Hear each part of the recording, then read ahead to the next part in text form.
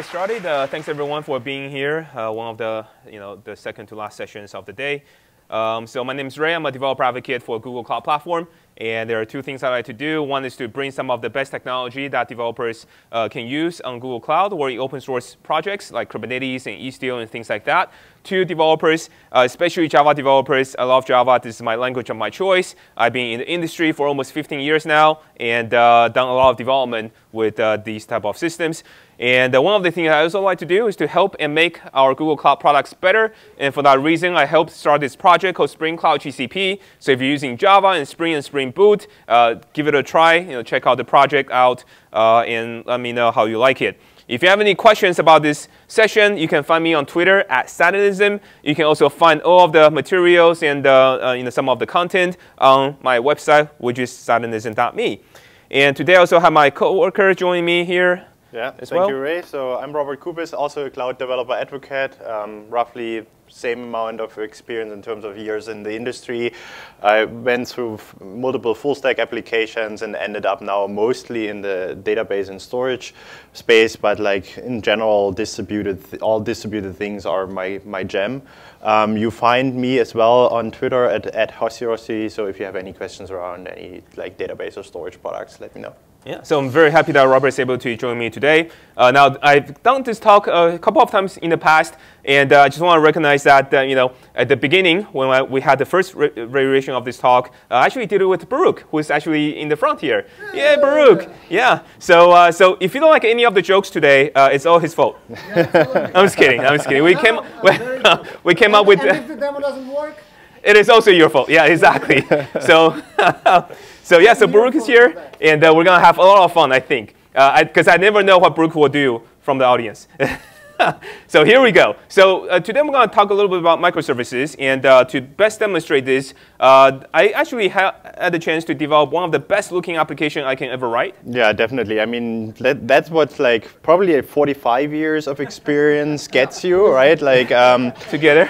Thank you. two, two, two, maybe three colors, beautiful layout. We keep it simple. That's all what Hey, look, are about. right? yeah, look, I'm not a front-end developer, so this is the best I can do. I went online, I found some Bootstrap things and jQuery, and this is what I put together. However, it does demonstrate quite a few things about microservices because I'm a backend developer. That is what I do. So I broke everything down into different backends. So even though the application is just you know front end with the username and you know message, and you click on the greet button, we're going to call another service to save the data, and then we're going to say hello back to you, and we're going to show you all the messages that's been written so far. And behind the scenes, we're using microservices architecture. So I broke this application down into the front end with the UI and two backends: a Hello World service, uh, a guestbook service that allows you to have CRUD operations. It's going to store the data into MySQL, and of course, we also have Redis for session applications so I can hit multiple front end uh, you know, together so we can have the same data. so you have five services for like two lines of application of Hello World. Right, like so some or Baruch might say you could write that in a monolithic app, right? But like, come on, we live in the 21st century. Let's complicate and microservice all the things. But however, don't do this if you're just writing a guestbook. But this will be a very, very popular guestbook application. So of course, we have to deal with being able to scale out our services independently from each other and so on and so forth. But just keep in mind, you use the microservices architecture for if you're tr- trying to solve certain problems. So let's give it a try. So let's see what we got so far, right? So let's go ahead and see it. Uh, to complicate things matter even more, because it is microservice architecture, you do have to watch out for a few things, like how do you deploy and manage your services uh, in your instances. So for this, we're actually deployed the whole thing into a Kubernetes cluster. Uh, fortunately, I'm running this on Google Cloud, so it's a click of a button, like my cluster that has about five endpoints, five nodes that I have. And I deployed everything into Kubernetes right now. And the way I've done it is by, you know, one of the things you should be doing is to codify, you know, the, your deployment. And in Kubernetes, everything is done kind of in a YAML file. And so we checked in all the YAML descriptors on what we want to deploy. And the beautiful thing about Kubernetes is that you can actually uh, add some of these uh, deployment descriptors that will you know, describe your desired state, and we can go ahead and conjure up this into reality, right? So for example, if I need two instances of my UI, I just say I need two replicas of my application, And then uh, this is a deployment. I just say which image do I want to use to deploy, and I can configure my environmental variables here, like to uh, kind of say where the backends are. And I do this for all of my backends and also my load balancers as well. So for example, for my UI service in Kubernetes, I can use the kind of service, and I can say for this load balancer, for this service, I need to load balance behind the scenes to all of the application with certain labels. In this case, it will be Hello UI label, right? So and I, the yep. really cool thing about this is the load balancer is actually a global load balancer that get provisioned to you, so you don't have to pre-warm anything or like manage with multiple IPs. You get one IPs, uh, one IP for your global load balancer, and you're done with it. Yep. So here we can actually see uh, the entire architecture. So we have the Hello World service with the, this is a load balancer with an IP, and we have two backend instances running. These are the pods, and then this is the deployment, so I can control how many instances I want. And if I scroll down a little bit, I can see the guestbook service as well. I can see two instances there, and I can see MySQL, and everything is running up and running right now. So why don't we just go ahead and take a quick look? Yeah. And um, I, I, wrote this in Spring and Spring Boot, so you can see very clearly we have a Spring icon here on the top. So let's go take a look. Oh, oh interesting. That, what? What? This is actually working, so that's good. So my hello, and uh, let me say. So when it didn't work oh. last time, it was. Ah, okay. Huh. Oh. Wait, wait, what? What? What? what? No, I'm just saying it's great to have a demo that doesn't work from like three minutes in the yeah, talk. Yeah, yeah, but uh, uh, oh, what the? Wait, wait, what did I just do? You uh, broke it. How? How did I break I. Can you do a hard refresh, maybe? Wait, how do you do a hard refresh? Um, shift F5 or something. Shift. I, I could never remember that. Um, I, I don't have that. Oh, it's, you, yeah, it's a Mac. Yeah, right? no, like no, yeah, we, no, we are not, we are not on Windows here, right? Um, um, hmm. But we have a backup video, right? We can just run. No, I thought you were gonna get up. Well, I came in late. What time did you get in last night? Like 11. My the flight was delayed and stuff.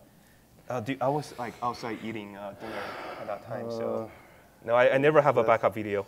All right, sorry guys. I mean, five minutes in, do you, we have nothing? Do yeah. you do you have something else to do for the next 45 minutes? Maybe. I mean, I, I would send you to lunch right now, but like that that was like three hours, four hours ago. Yeah. No. No. I guess that's not the case. But uh, wait, wait a minute, Ray. Like, what? come on. We live in the 21st century. Like everything yeah. is like spiked with AI and ML nowadays. It will just fix itself, right? You just wait here. For how long? Like, yeah. Just keep refreshing. Like two minutes, right? No, no, Robert. I don't. I don't think AI can actually fix this for us because this is one of the worst error messages I've ever seen. we really customize that page, right? Well, like I said, I'm a, I'm not a front-end developer, so this is the best I think I can do. Uh, it's a white label error page. So I didn't do any work here. Uh, and, mm. and look at that. This is a uh, error with uh, 500 uh, internal server error. And a 404. And a 404 on the same page. So I don't know how you get a 500 and a 404 on the same page. Yeah, and, and Baruch, what is? I have a clue. Yeah. Yes. What? Null, so it's null pointer exception because it's Java. That's the only thing that we're certain about. Right. It is right. in fact a Java application. Right. Huh. And and you enjoy that so much right now, right? That you totally gonna watch us to debug that for the next 40 minutes. Yeah. No? Silently. No, everybody? No. Silently? Come on, like you have seen great talks where you run into an issue in a demo and then the speakers are just like, oh, let me fix this. It only, will only take five minutes. Yeah. Uh, we set the expectations right. It will only take 40 minutes to debug. So. Yeah. So asking so, for your patience. So let's let's uh, let's figure this out. I mean, it was definitely working earlier, but uh, I don't know what happened. What just what just happened? So what do you do in this case? Suppose you're actually in a production environment and somebody tells you they're getting this weird error message on the site. Uh, what do you do? There are so many options we can choose. This is gonna be like almost a choose your own adventure uh, type of deal, but like we need to start somewhere. We, right, but like I mean, we are experienced developers, right? Right. So who here is deploying to production directly? Are you living on the edge, folks? Uh, wait, All right, so wow. Well, I, I, I don't expect to see any hands, but that's good. Yeah. so, so, yeah. So usually I start with test, and then I go to staging where I let other people look at it. Uh, um, okay. And then if everything works, we deploy to production, right? Right. So Um, do we have a staging? Right? You know what? Even though we don't have a backup video, we do have a staging environment. So within Kubernetes environment, uh, where we have multiple nodes, right? We have a whole cluster. Uh, we did actually carve it up into different namespaces. So we actually have a namespace called staging, and this is one of the cool things you can do in Kubernetes is that you know typically people will have a production cluster that only runs production workload, but for non-prod, you can actually share the same cluster uh, via namespace. Right, and it will just like bin pack everything. So like you use the same configuration files that we showed you earlier, you can basically use to deploy to different uh, namespaces. So Ray is going to show here, for instance, you can do the get namespace. You can list all the pods that are running in our staging namespace. You can do the same for QA, for production. And we use the exact same configuration files to, to deploy these applications. Yep. And I can also find the service that I provision with the load balancer, in which case you know, this is prod, which is not working. But if I go to my staging UI, oh, ah. that one's also not working. Ah. What? What is, what nothing, is going no, on Nothing is working today. Nothing is working properly today for me, which is kind of weird. And I think I know what happened. I think I know what happened. But this right. is weird. So can, can, you do like an incognito and let's see if that works maybe in an incognito? Well, let, us try. So let me see uh, open guest window, yeah. That works. OK, we're done. Yeah. Oh, oh wait. So it works in staging in incognito window, but OK, that's kind of weird. So what is going on here? Why, what, why does this work here? And oh, I think I know what happened, but uh, but that's weird. So let's assume like this is the you know we got staging environment working and we got prod that's not actually working properly. Right. Uh, what is going on? Wait, does it actually work? I need to say uh, Baruch and uh, hello, right? So yeah, it actually writes to the database, so everything kind of works. That's fine. Yeah. So what's going on? We right. staging, we got prod. Right. So the next thing, like, I mean, we want to find out, like, is actually the same thing deployed to staging and to prod? Yeah, so if you actually have two different environments, and one works and the other one doesn't work, you kind of need to figure out are they the same app, right? Now, now, Robert, actually, I'm pretty sure they're the same app because the way I deployed it was I did kubectl apply dash f, and I deployed exactly the same descriptors, and the only thing different was the staging or QA or something else, right? Okay. Yeah. So, so, let's have a look what we deployed.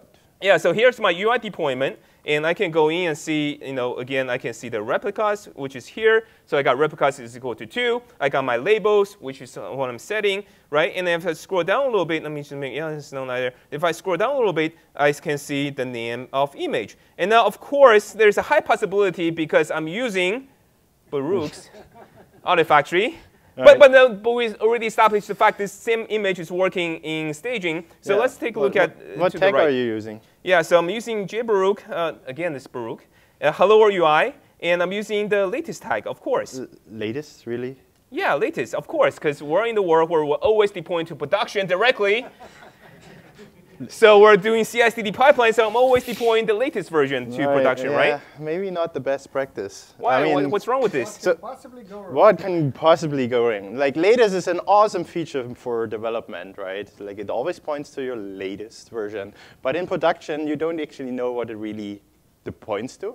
Um, especially like if you have a situation where Ray is downloading a container image a week ago, and that is now the latest, and I download one like yesterday, and then this is a different version. They all point to latest, but they both point to a different version of the container. So you want to make sure that you use actually versions which, in the best case, are actually mutable right? So that they don't change, the container image behind the version doesn't change. Yeah. Or like in terms of uh, Docker containers, the other way to be very sure is to just refer to the SHA-256 uh, hash, and then you can just add a hash here if you actually want to be very, very specific about what it is you're deploying. Now, unfortunately, I did not follow these best practices. Obviously, my production environment is kind of broken. Uh, and I think there's ways for us to kind of figure this out, right? Right. So in Kubernetes, you can actually inspect what is running in your cluster, right? So we can do a describe. So he, um, Ray brought up the container that we want to, the pod that we want to actually inspect. We can do a describe of this pod, and then we can see exactly what is running in, in that pod. Yep. So I do a describe command, and here I can see the details about my deployment. Uh, specifically, I can see the environment variable. I can see what's mounted. I can see the status. But if I go up a little bit, I can also see the exact image hash that's been deployed. So specifically, we're deploying something from JFrog, uh, with, from Baruch's uh, um, uh, Artifactory instance. Um, and then here's the SHA hash. Now, this number is very big. What we need to do is to compare between this and staging. Right, now, so we need all your help right now So let's do this this way, I Ray. Yeah. first five digits. No, you're not. Um, Ray's, Ray's remember the Why not? first four. Well, you, you can you can team up. Yeah, we'll team up. Yeah, And I'm I'm gonna remember the last four, and then everybody else remember everything in between. That's something in between. Yeah, pick a pick a digit. Position does not matter. Same. Just pick a number. Keep this in mind, right? So we need to compare the child hash and make sure they're the same thing. You got this? Actually, I didn't get it. One second. zero, yeah, zero, three, four, seven. Okay, got it. So now we can go to the. Uh, um, let me see here. Get pods, and let's go to staging, staging environment, and we're gonna find one of the pods to With a G. Oh, that's good. I thought my staging environment went away. That's. It would have been an absolutely unprepared, uh, unfortunate event if that happened. So let me go ahead and say describe and something from staging. And let's see if this is the same configuration. As you can see, it's hitting the same backend. That's because we had used it in the namespace. So we can share and reuse the same names for because these are all scoped to the same namespace. But now if I go up a little bit, here's the hash of what we deployed. Uh, remember 0347. Six Yeah. to four B looks good. Everything else in between? Yeah? Yeah, everything's Right. good. So we established the fact that this is the same environment in different namespace with two different uh, container, uh, sorry, with the same container image. So they're exactly the same app, Right. right? So, so then what, what, what else should we check in this container image? Like, Well, what would you do next? I think I would actually go and look at the logs, right? Like that's kind of your next um, step to do. And like if you look back, like what we would do like 10, 15 years ago, what would you do? You would SSH into a machine. You would somewhere look for the logs, like like a folder directory. You don't remember where it was, maybe. Um, and then you go there and use maybe grep to like find what exceptions were thrown in in your application. Now, if you had multiple like instances of that running, you had to basically go to each machine and go through each machine and do this process. If you were really advanced, you maybe had one central server where you use the cron job on each of machine to send your log files to that central server, maybe with FTP or NFS if you're really advanced. But we can do better than that. Yeah. Right. So in Kubernetes, uh, one of the really handy way, of course, is for you to do a kubectl get pods. You can see all the running instances within a namespace or within uh, other namespaces. And if I want to go find the log, this is what I can do rather than SSH into that machine and find the files. Uh, actually, one of the best practices here is that you should never write the log to your container file system uh, from your application. Uh, one reason is that in a VM, in a machine environment, once you write the log to the file system, you have a log rotator that's able to clean up the logs for you. In the container environment, you don't have these log rotations, and so your file system is going to keep on growing until either it runs out of space or you you kill or you start your uh, container, right? And in most cases, what you want to do is to just output the log to std out, in which case you can do something like kubectl logs-f, so you can actually see the logs without actually having to SSH into the machine. Now, hold on a second. I got a math question for all of you. We do have two instances of my UI, and I know one of them is not working, potentially. What are the odds for me to find this exception, my stack trace, in one of these two instances? Baruch, 50%. 50%. That's very good because it is one out of two that I'm going to find. Now, of course, within the microservices deployment, that this is such a super popular application, you may not also you may not always have just two instances, right? Now, what if you actually have 10 instances instead, right? So now if I go get pods, right, I'm going to see 10 instances running. Now, what are the odds for me to find the the log in one of the 10 instances? Baruch, really like to answer questions today. What is it? 50%. You either heat it or you don't. that doesn't make sense, but okay. That, that could be true. I guess that's probability. I'm never really good at it. I'm going to take your word for it. So, so that could be true. I, I would have said 10%, but okay. So, so this is what I do, right? So I can do kubectl logs dash f, and I'm going to find one of these uh, instances um, that could be running right now. So I'm going to find one of them that's running, and I can just see the logs this way. And oh, I'm very lucky today, Baruch, 50%. Found you 50%. Yeah. so I should go buy some lottery uh, later today. So I can actually see the log this way. Now, of course, if you have multiple instances running, you can't just you know do kubectl against every single one of these instances. Uh, then we got other tools for you to do this. Yeah, that would be really tedious, right? Like, so there's a tool, actually, there are multiple tools in Kubernetes that you can use. You can use Stern, you can use kubetail to basically get an aggregated view over all the pods that are deployed under uh, deployment, right? So let's let's use Stern maybe yeah. in our case here. So you basically use Stern and then the name of your deployment. It will basically use like the uh, Kubernetes APIs to find out which pods are running under that deployment, and then lists all, aggregates all the logs into your standard out uh, on your local machine from all these pods that are running.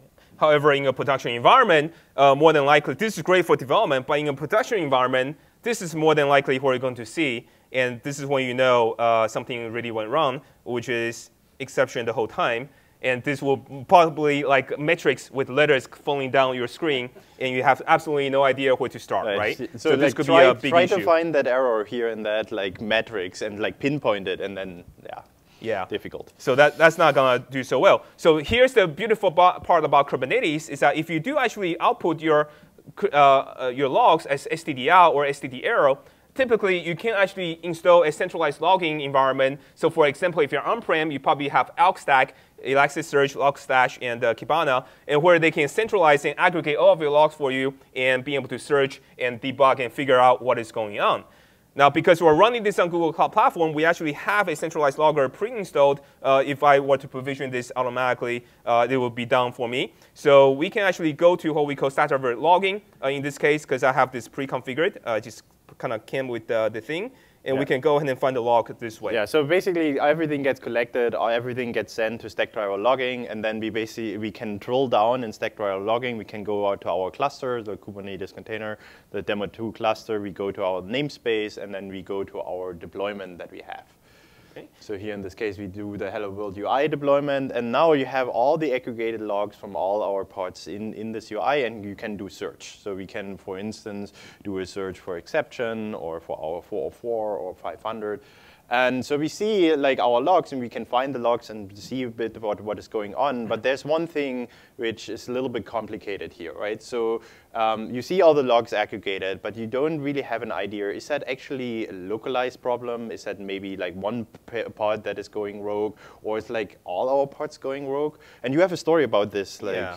So, so for example, um, I was working as a consulting a hospitality company, hotel company, and uh, it was a monolith. So even back then, right, it, it, doesn't really matter whether it's a monolith or a distributed system like today with microservices, right? You have multiple instances. You kind of need to figure out what is actually going wrong. So what we used to do unfortunately, back then was also SSH into the machine, aggregate all the logs, FTP them down, and then do a grep, or I write a Perl code, or even I dump it into Hadoop and try to do some of these analysis. Uh, what I really want to find out at 2 a.m. in the morning was, am I going to stay up all night, or is it just one instance that's being misconfigured?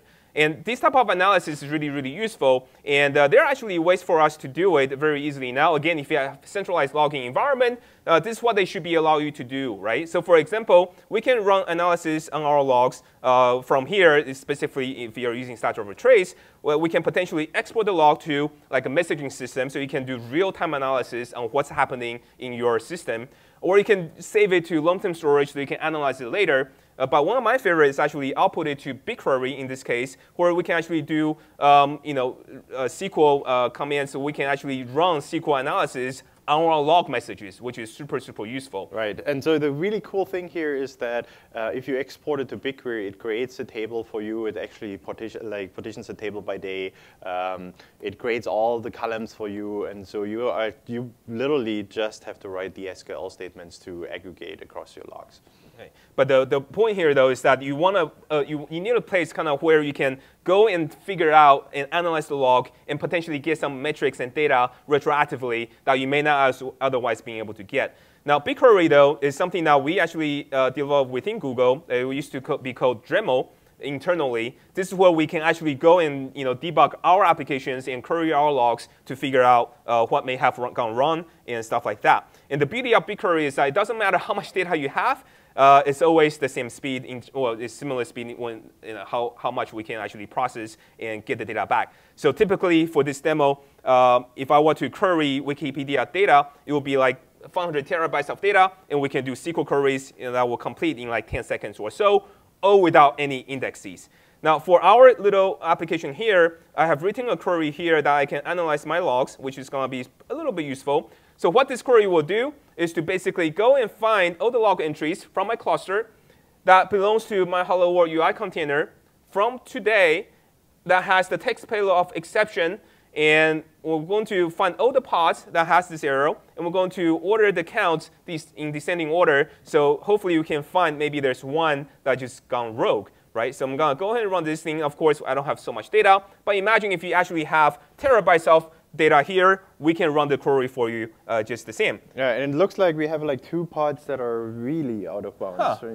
Interesting. So, so you know, maybe maybe there are two or one instance that's just like going rogue, and uh, let's see what we can do. So what should we do about this instance, Robert? This is like 2 a.m. in the morning. also have exceptions, but yeah, but that, that's so it's kind of normal, right? Like you have a little bit of errors you have in every application. Yeah, so. but but these two are really just out of out of order, right? Yeah. So um, I would like in, in, in Kubernetes, you can basically just delete it, right? Delete. So something like kubectl delete, and uh, we can do delete the pod.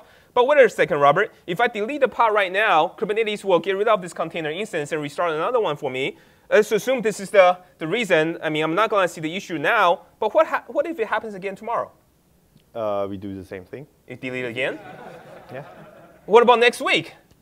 Well, if it if it's so regular, then the, the only solution that I can think of is uh, setting up a cron job and do that every Like days. you do with, oh. Wow. How many people here have a cron job that deletes their application? Seriously? Are you the same people who devo- deploy to prod directly? this is how you fight Java memory leaks. I, I remember you do that too, right? now, hold on a second. You have a cron job. I remember. I saw that earlier. No, hold on a second. see your cron for the record, for the record, uh, what is that file? cronjob.yaml. For the record, you can actually have a cron job in Kubernetes. But you should not be using it to delete your pod every week. For the record, I'm just going to say it out loud No, right just, here. Just Um, kill all Java. yeah, just okay. don't, don't, don't, delete do that. the pods. Why, why don't you want to do that? Because if you delete the pod and it happens over and over again, you never really find the root cause of the issue, right? We really don't want to cron job Right, so you basically bury the evidence for your crime with it. Um, and so we actually want to investigate. So there's actually a really cool tool in Kubernetes. What you can do is like we know like there is one pod or maybe two pods that are rogue, and we don't want to have these pods anymore serving traffic to the uh, to the outside world. So what we can actually do, we can see here we have our service YAML, and that defines like uh, like in the spec has basically a selector. So these are the labels that we attach to our deployment, and we say in our service like okay, the service matches all the pods that have the labels Hello World UI and serving true. Now, if that doesn't 100% match anymore, then the service will not route traffic anymore to our pods. Right. So we can use this um, to look at our pods, which have right now the serving label. Yep. So here I just issued the command line here, so I want to see all the serving label that's being set. So my Hello World UIs all have the serving labels of true. That means every one of these uh, backend might potentially be getting one of these requests and returning this issue. If I actually suspect one of these instances is going rogue, I need really want to like isolate it and prevent it from serving traffic. This is what I can do. Uh, I can also, whoa, what just happened? Uh-oh. This is, yep, this, this is what I can do. I can use the command line here to call kubectl label. I can label the pod. Basically, I can update the label to what I want it to be. So for example, if I suspect one of these instances having issues, I can set the label serving uh, to false instead. I'm going to override it. And this is now effectively taken out of my service, so I cannot get to this via my load balancer anymore. So if I zoom in a little bit here, I can see now effectively this particular instance has the label of false, so nothing will get there. Right, and you see also like we have one line which where we have a pod which is only four seconds old. And the reason for this is like in, in Kubernetes, you have a deployment where we said like we want to have 10 serving replicas for that deployment. Since we took out one of the uh, pods uh, from that deployment, the deployment basically says like, oh, now I have only nine serving pods for this deployment, so I have to start a new one. So it starts a new one, and we can see we now have 10 Yep. uh, serving and one which we took out of service. Right. So now, even though I took out the service, uh, my app's still not working, which is kind of weird. But we can also now we have this particular instance isolated. It's not, no one else is getting it. So what we can do is to send requests to this specific instance to kind of see what is going on. Okay, and the way that we can do it is by using something uh, that's built into Kubernetes, which is by port forward. So we can port forward uh, traffic, pull forward. Forward with an R Pull, there. yeah, oh, I can't spell. I can't do math and cannot spell today. Uh, I'm going to pull forward directly into the pod.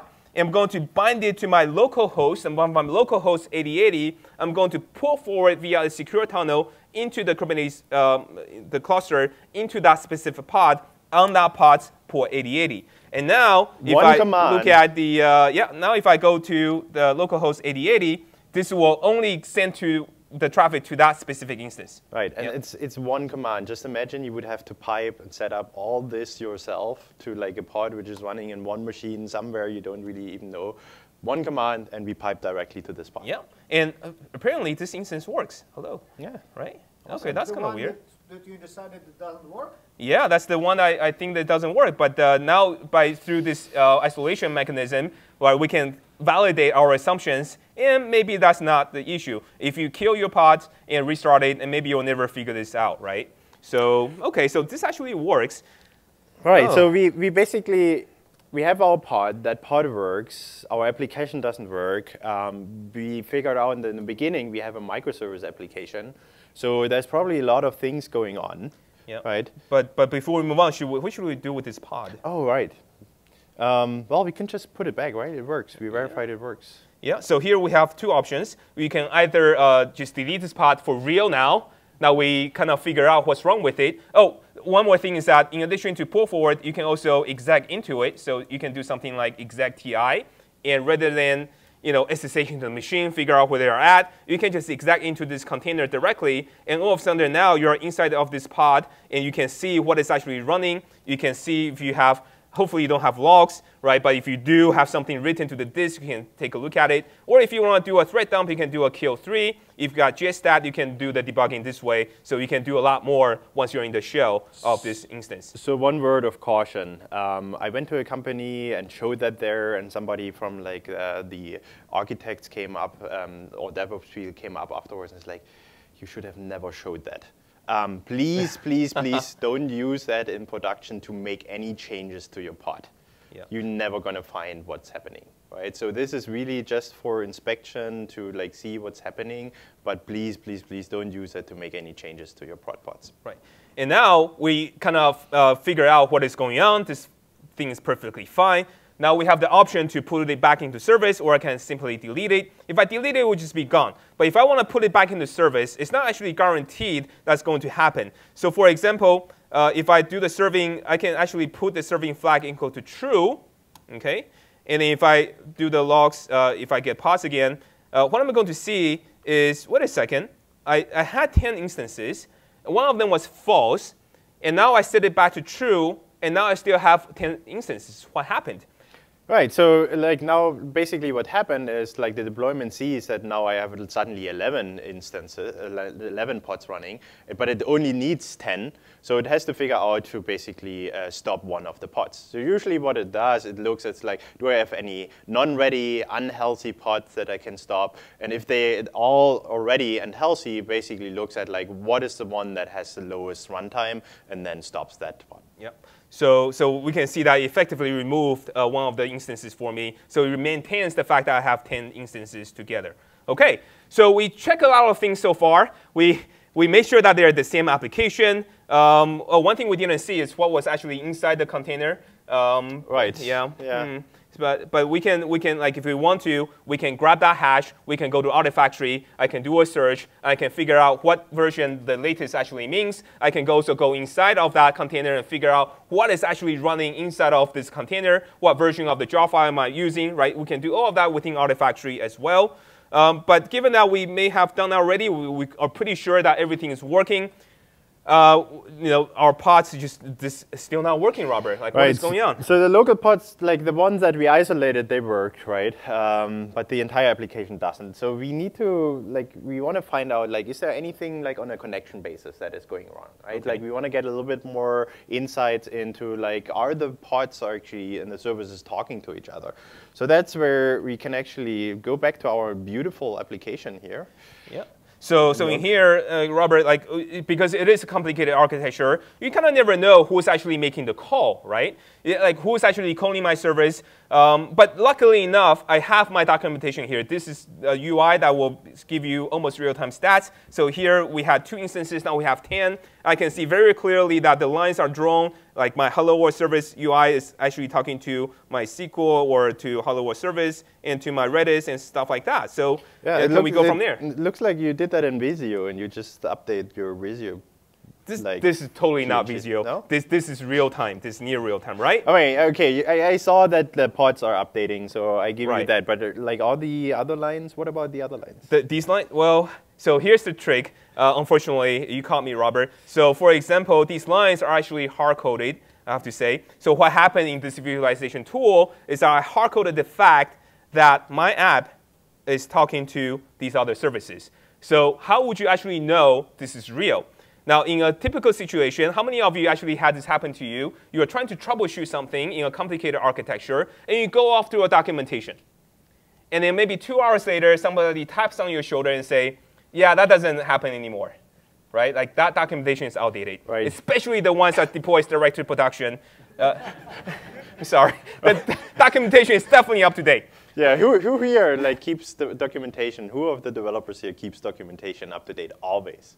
You're an exception. You're amazing, um, yeah. right? Like it's usually, usually yeah. documentation is outdated the moment you write it. Yeah. So.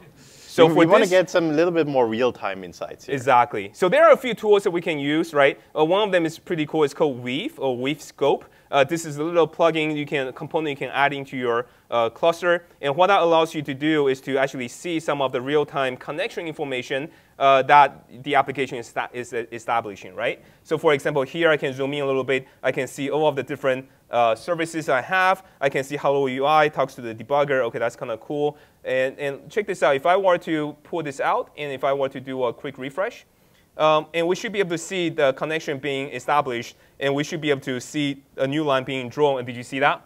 Right, so we can pretty much sure, be sure that the, the network connections are going through, and um, you know, there's nothing happening in my infrastructure that's causing something fishy. Right. So, so this is cool. Like we see like TCP uh, connections basically going on, services talking to each other, but we really don't know on a request level like who, like what service is talking to which service based on a request level. So we, we want to actually get a little bit more insight even on, on the request level to see like what is going on. Right. And to do that, uh, what we need to do uh, is what we call distributed tracing, right? And actually, distributed tracing is not new. I remember even in consulting, I was in this uh, service-oriented architecture uh, deployment. And the first thing that my manager from a consulting told me to do was to make sure that I have an ID that's unique per request, and then I propagate this ID downstream to the other services I'm calling. Um, and this was many, many years ago. I'm like, why should I be doing this? Well, so he gave me two answers. Number one is, well, what if one of the services had issues? How would you know which one actually broke? Right? So having a single correlation ID, I can kind of figure that out, right? Uh oh what just happened? Oh, no. Right, and, and that is actually amazing to have, but like as, as you can tell from the description how uh, Ray was talking about this experience, it was basically a thing at the organization where they set up a policy which everybody had to follow. You had to basically decide like who is the one who generating that ID so that you don't have like multiple servers generating individual IDs and then you have for one request multiple IDs and you have to figure out how they belong to each other. Right. So um, we have advanced in that like way like a lot nowadays. Like you have a lot of libraries libraries that you can just tag on to your application, and that application basically uh, that library takes care of all the metadata for you. It, adds all the like IDs and and all the things for you. Yep. And uh, so, for example, if you're using Spring and Spring Boot, you can use uh, Spring Cloud Sleuth. Otherwise, you can use Brave and stuff like that. Or you can also deploy your stuff into Istio in case if you propagate the right headers, we can automatically uh, propagate the traces for you uh, to store them and collect them. Now, this is what ultimately you're going to get. If you're on-prem, you're probably using something like Zipkin or Jaeger. Uh, on, on, the cloud, you can do and you can use one of our services, which is called Stackdriver Trace. Uh, the result is going to be the same. What you really want to be able to see is what happened in this call, who is actually being slow, or is there anything that's broken. Now, I have many, many traces here. So every one of these dots is a trace that came through from my system. And I need a way to kind of navigate this a little bit. Right, so we want to filter down, right? So here we can actually filter down on the HTTP status that we have. So we can filter down on the 500s that we were seeing. We can click on one, and then you see literally like a waterfall of what is happening in terms of the requests, which services we're calling which, and where is any issues. Yeah. Right. So here we have the, the, the UI that's calling the Hello World service. And um, for this particular thing, we can see that this is in fact Hello World service. And I can drill in a little bit. And if I drill into the end, check this out. This response time is really, really fast for some reason. And we can actually find that Yeah, the status 404. code is actually 404. So this 404 code was, um, you know, it's cascading upwards to the actual UI, and this is what caused my 500 in the first place. So in many cases, having some of these um, traces is going to be very helpful in terms of uh, finding out where in the chain of the code actually broke. Right. So we now know that it's like broke down there, but we don't know what caused it, right? So we want to get a little bit more insight. Like, how do we find out what actually caused that 404? Right. So, so for that, we may actually need to know the parameters actually, actually being sent in. Now, you, you either put the parameters in one of these annotations so you can store that with the trace, or if you forgot to do that, Well, I you guess don't we really want to to do that always because you have to also be careful with PII and things like that. Yeah. So, but yeah, I mean, like, what would you do? Um, if you like- need more information from your app and your log does have, doesn't have those messages right now, uh, what would you do next? we would add some logs, right? Some log messages. So, like, who here in the audience can deploy within an hour to production? Yeah, Wow, we have Very like nice. a like a really cloud native crowd here. yeah, that's Uh, awesome. Hello world, easy.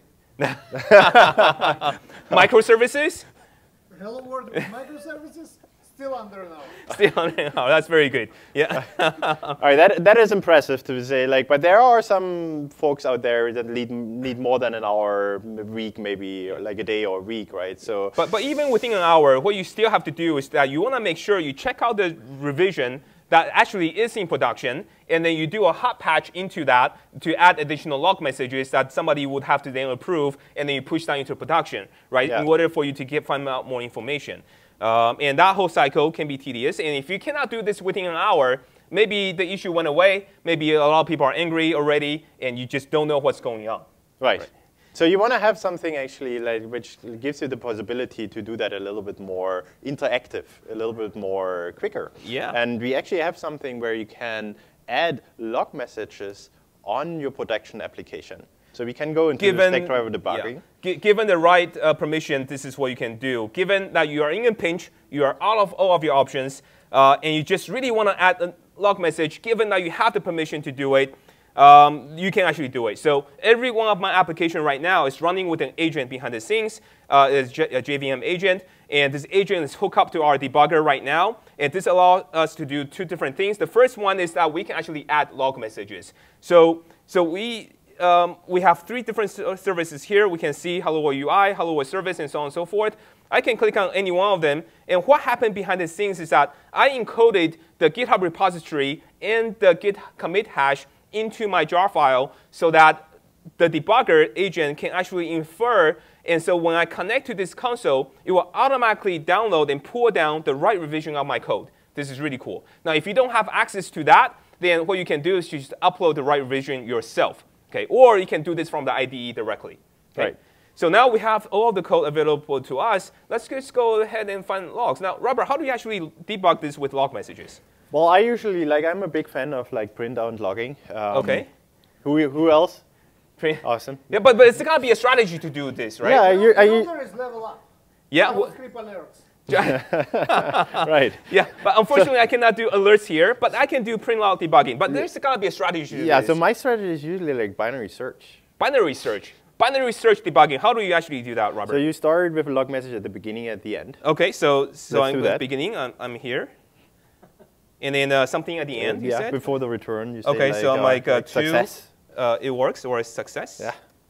Okay, and then what do you mean by binary thing? And, and then you just like go halfway and then put something in halfway. Right? I see. So if it doesn't get to the bottom, that means it must be somewhere in the middle. So you add something in the middle, like right here. Yeah. Right. Yeah. And, That's, and that's there we pretty actually cool. have the name. Uh, like so maybe we can Yeah, point so I'm gonna say um, maybe it broke here, right?